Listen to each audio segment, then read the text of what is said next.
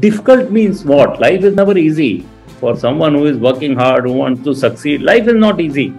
But you, if, if you take that as a part of life, it's a part of life. Good. You start enjoying it. But you know, okay, this is what is your responsibility. You know, this is what system expects you.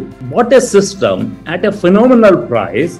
And if as a maintenance officer, as a system officer, you can't ensure that system performs to its rated capability, you are failing the system. You are failing the service and you are gauged for that. You are judged for that. So for that to happen, I, I have worked for nights and nights and nights. But that alone gives you so much of confidence today when you can speak to anyone. It is only because of the confidence and because of the hard work you have put in in seeing that how these systems perform to the best of their capacity.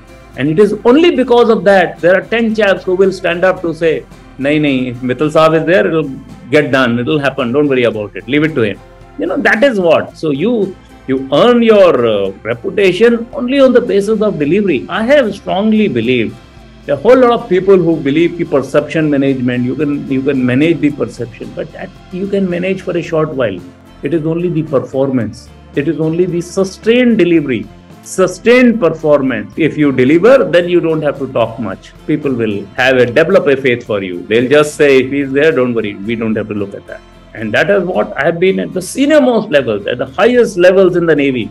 I was CMD Goa shipyard. I will go and tell VCNS, CNS. Fortunately for me, I had worked with all of them. And whenever I go to them, they, they had that confidence. Don't worry, Mittal is saying so it'll happen. The CMD GSL is saying it'll happen. As CMD GSL, I delivered 23 ships. Not a single ship got delayed. And there's no other shipyard in the country which can talk about. There is no other, even in that shipyard also, there is no other time when they can say so it has happened. Every ship we deliver ahead of a time. So you see, one ship you can deliver by chance, two ships you can deliver by, not by 23, 24 ships. Every ship goes ahead of the schedule. Then, then you have changed something. You, you know, so you are working for something else. You have to work extremely hard. It's a back-breaking exercise. But then that is what is the difference in the leadership from person to person.